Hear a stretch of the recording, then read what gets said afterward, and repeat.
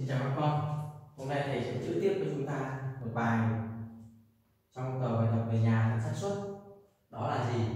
Tình huống bài toán như sau. Ba hành, ba người khách đến thăm nhà một người bạn, rồi đi về, nhưng mà bỏ quên ba chiếc mũ. Chủ nhà sẽ gửi trả vào hôm sau. Nhưng mà chủ nhà không biết mũ của ai cả, nên cứ trả ngẫu nhiên mỗi người một cái.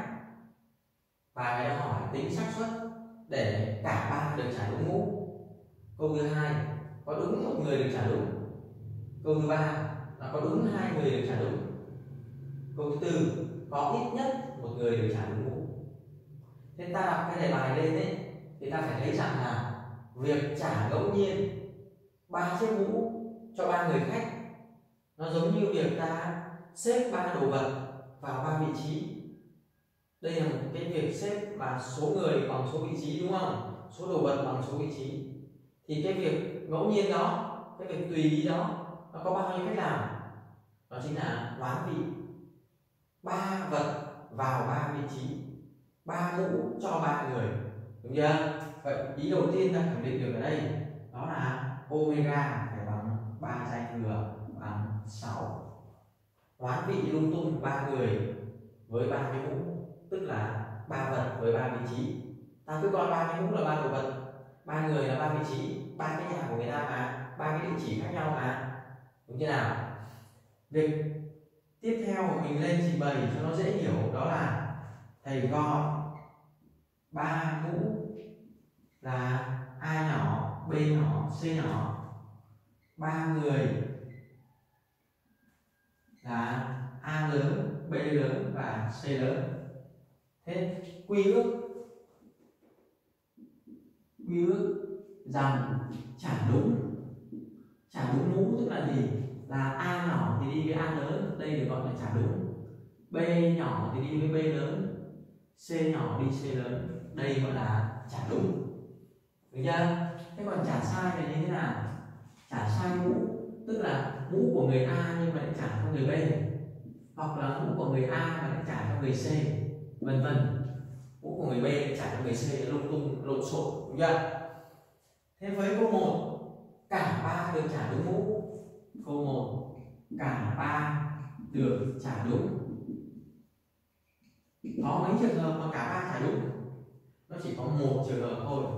Một cách là a thì trả cho a, b trả cho b và c trả cho c. Chỉ có một cách này thôi. Vậy xác suất sẽ bằng 1 phần 6 omega là 6 này. Dạ. chưa? Câu 2 có đúng một người được trả đúng đúng. Một người được trả đúng tức là hai người kia phải trả sai. Vậy thì có trường hợp nào? A thì trả cho a. Là đúng rồi. Nhưng mà b lại trả cho c và c lại trả cho b. Đó.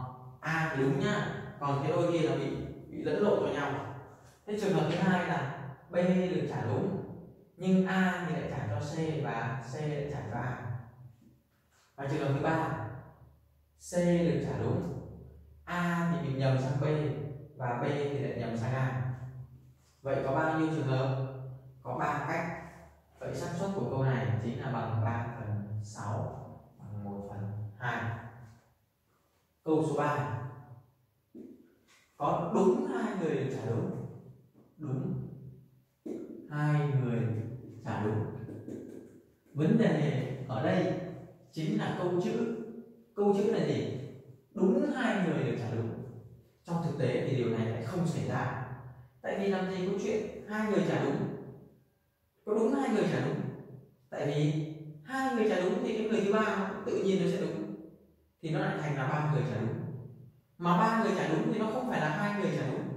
Về mặt câu chữ ấy ba người trả đúng là ba người trả đúng. Hai người trả đúng là hai người trả đúng. Không có chuyện là đúng hai người trả đúng đâu. À, không xảy ra trường hợp này. Vì khi hai người được trả đúng suy ra người thứ ba cũng đúng. Và suy ra là có ba người được trả đúng đấy là giải thích. Giải thích là nó không xảy ra trường hợp này vậy nếu đi thi, xác suất ta phải kết luận là không. Xác suất đó là không. Đây là biến cố không thể. Biến cố không thể tức mà nó không xảy ra. Không xảy ra thì xác suất nó bằng không. Trắc nghiệm thì phải khoanh vào số không. Được chưa nào? Câu thứ tư ít nhất một người trả đúng ít nhất một người trả đúng ít nhất một người trả đúng thì nó có trường hợp là một người đúng và hai người sai. Đây, một người đúng, hai người sai đây. Chính là câu câu hai. Và xác suất đây là một phần hai. Thế còn có trường hợp là hai người đúng hai người đúng thì cũng chính là ba người đúng mà. Mình không cần phải chia cái trường hợp ba người đúng nữa. Tại vì hai người đúng nó chính là ba người đúng. Trường hợp này chính là câu câu một một phần sáu. Vậy xác suất của câu 4 ở đây chính là bằng 1 phần 2 cộng 1 phần 6 bằng 2 phần 3 đó. Đúng chưa nào